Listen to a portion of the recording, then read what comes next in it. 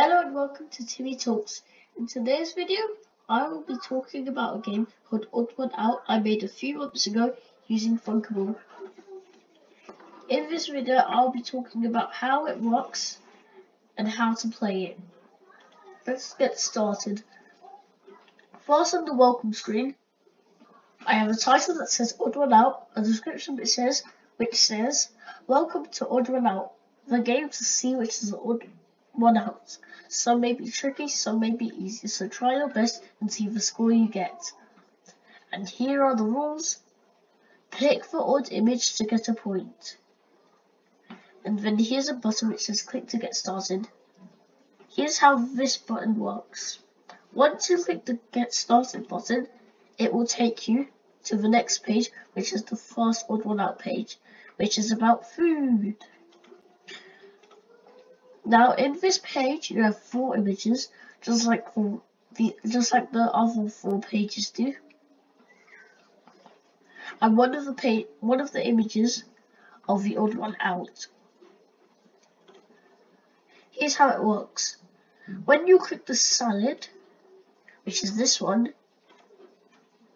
it will change the app variable score by one, then it will take you to the next page of the odd one out. But when you click the donut burger and the pizza, something different will happen. Here's what will happen.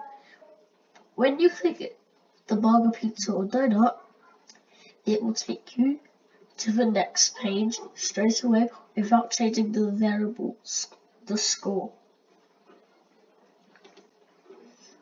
So, once you get onto the transport page, depending if you got it right or wrong, it would change the score to 1 or it would still be 0.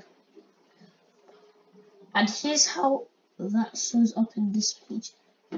Once this page opens, it will set the score to the app variable score. And when you click the salad, it will change that variable score by 1. So that means that it will be 1. But if you click the burger, pizza or donut, that means it would still be 0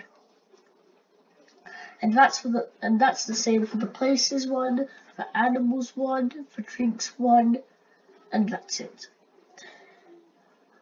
But on the congratulations page, we have an animation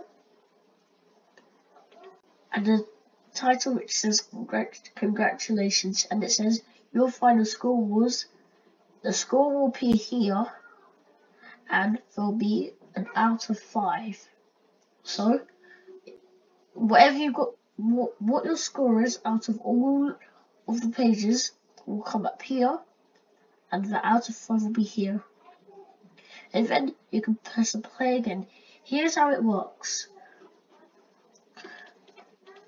Once the screen opens, it will set the score to the app variable score, which will be here. Then once you press the restart button, which is the play again button,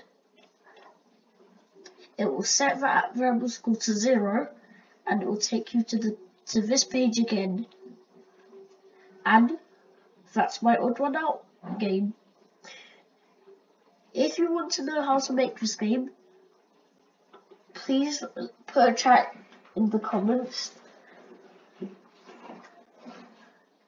Thank you for listening. Timi Talks out.